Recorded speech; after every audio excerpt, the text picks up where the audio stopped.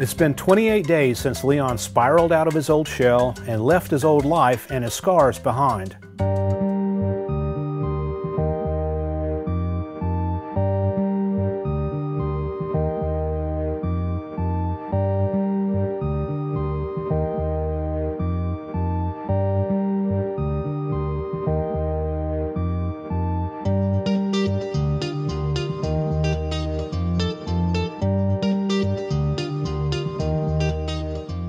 I did save his old claws. I didn't make soup stock out of his old shell like so many viewers suggested though. I've never made soup from scratch in my life. I don't cook that much. Someone will need to post a good recipe to the comments section here. Now wait, don't do that. His old claws are amazingly tough, big and hollow. They would make cool wind chimes actually.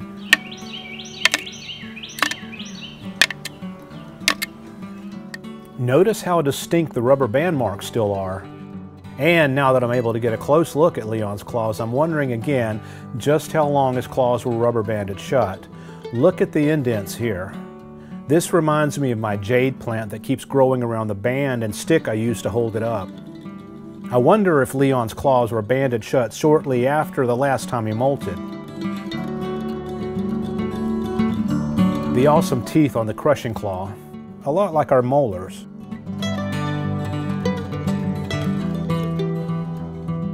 Arr, I pinch you. No, I pinch you. I pinch you first. Not if I pinch you first. Here's a look at how his claws have progressed.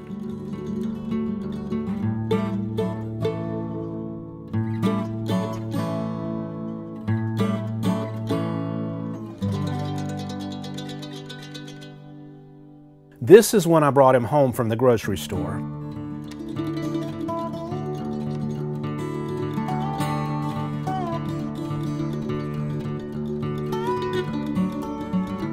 And after the bands were cut off,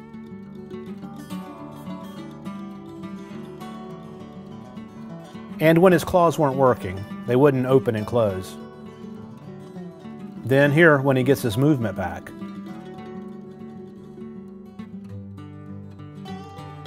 This is what they looked like right after he molted. And what they look like now, today.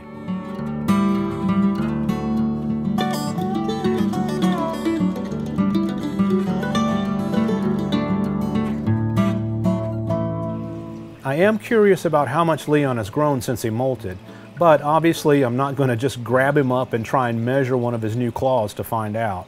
So I measured his old claws.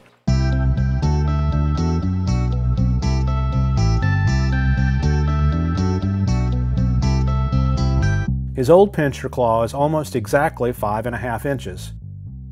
Then I waited until he parked by an object in the tank, like this clamshell.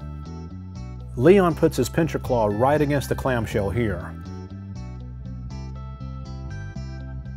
Then I took the shell out and measured the shell.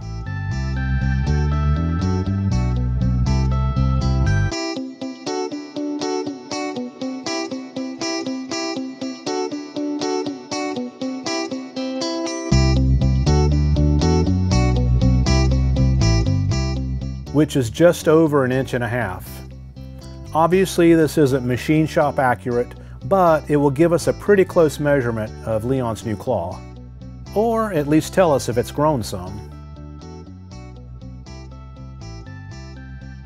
One and a half inches, three inches, four and a half inches, six inches, seven and a half inches.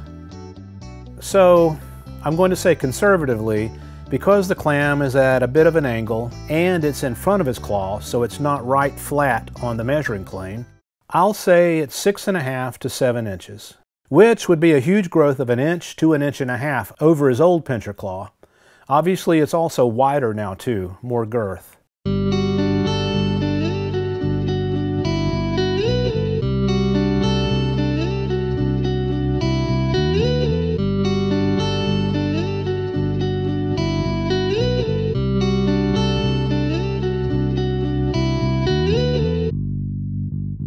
Leon has been eating like crazy since he molted. He's out constantly searching for food.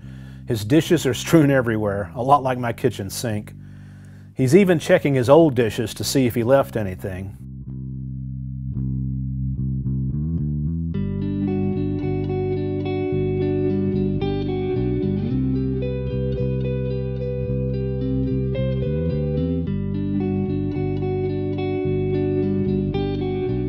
When I feed him, he comes out and devours it.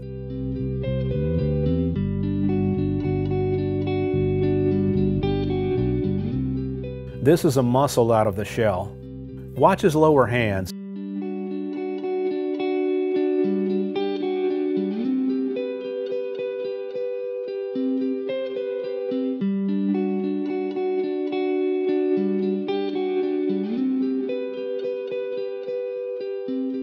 He literally has food in his mouth and an extra sandwich in one hand.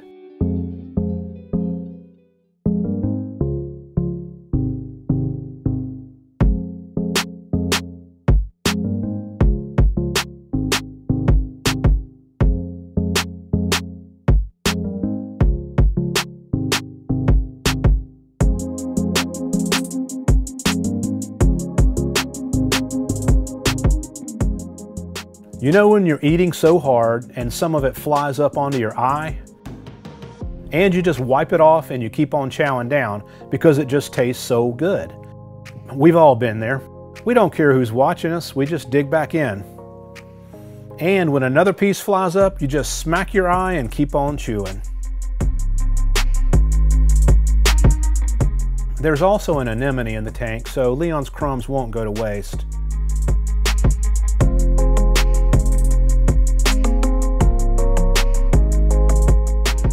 Here's a good view of his new claws. Look at the girth of his crusher claw now. I know what you're thinking, Leon got new dental work. But no, Leon hasn't been to the dentist. That's his natural mustache. Cracks me up when I see it though.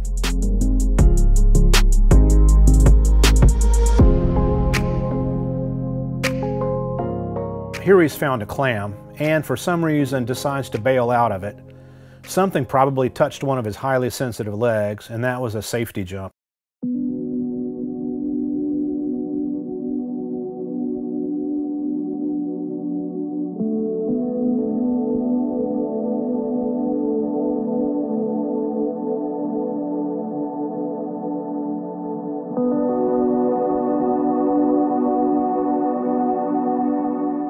Even a few weeks after molting, I'm still feeding him a lot of shrimp in the shell. He loves these. And they're a good source of calcium to strengthen his new armor.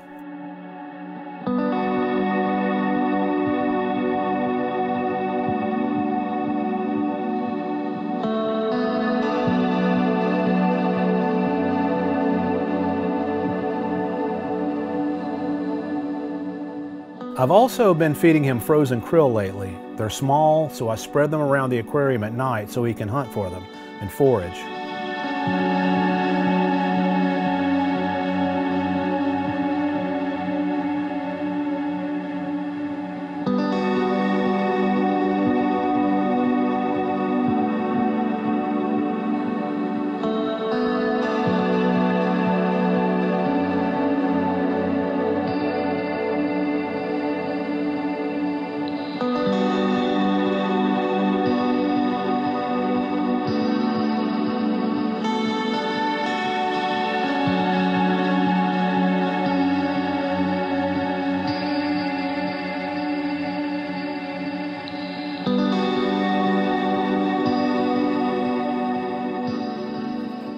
Here's a good look at Leon's back patch, the coral dust that he can't reach. I know this messes with some viewers' OCD.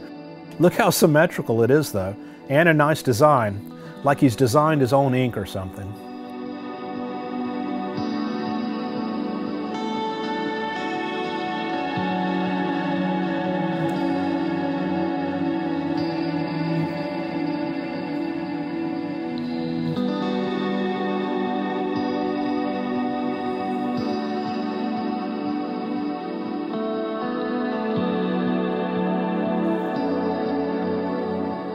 If you've kept aquariums for a while, you know the importance of gravel cleaning and water changes. This is a regular chore, along with picking up Leon's dirty dishes. I leave some in for a few days so he can forage through them at night to see if he's missed anything. Then I tidy things up and start over.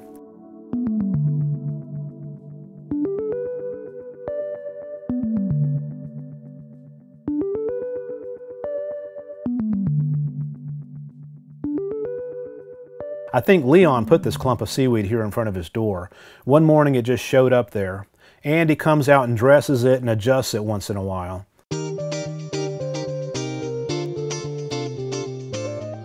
At feeding time, though, he came flying out of his lair and just rolled it with him all the way up to where his food was.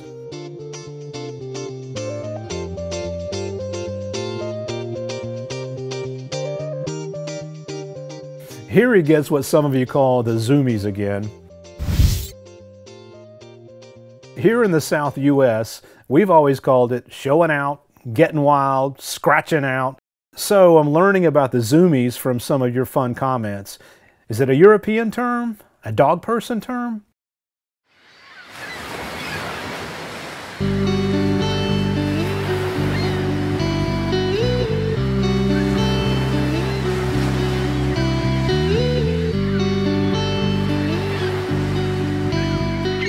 The ocean is a tough place.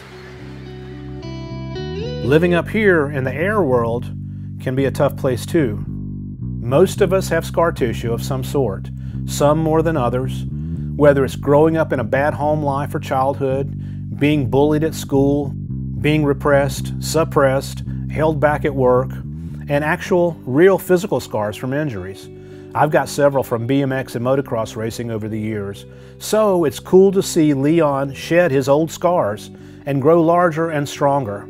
He is surviving and thriving.